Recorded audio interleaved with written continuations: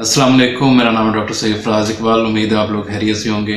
पाकिस्तान में रहते हुए रेशा, ज़ुकाम, एलर्जी छाती में बलगम वगैरह, ये बहुत ही कॉमन सी चीज़ें हैं। इनकी बेसिक वजूहत होती हैं जिसमें पोल्यूशन कोई भी एलर्जन वगैरह ये जब चीज़ें सांस के ज़रिए हमारे लंग्स में जाती हैं, हमारे ट्रैकिया में जाती हैं तो हमारा जो ट्रेकिया की लाइनिंग होती है, वो एक किस्म का म्यूकस सिक्रीट करती है, जो इनको इंट्रैप करता है और ये रिवर्स मूवमेंट की वजह से ये हमारे सांस की नाली से बाहर आ जाती है। मतलब ये एक मेकनिज़म है कुदरत की तरफ़ से, जो हमारी सांस की नालियों को बचाता है बाहर की चीज़ों से।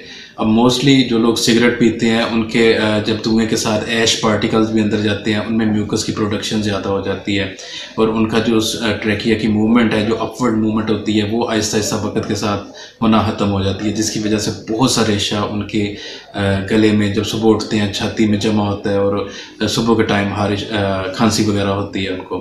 तो इन सब की इन अलामत में एक चीज़ बहुत ही मददगार है। उस सिरप का नाम है म्यूकोनिल।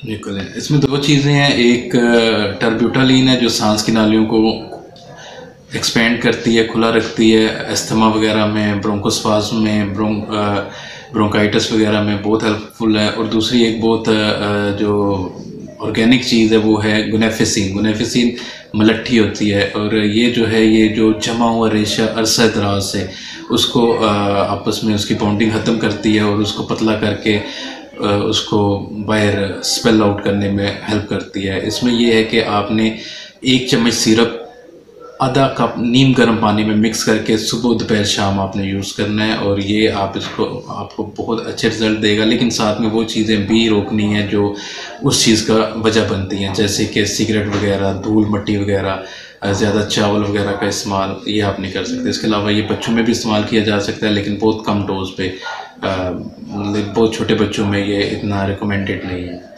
बाकी अपना ख्याल रखिएगा, दुआओं में याद रखिएगा। अल्लाह हाफिज़।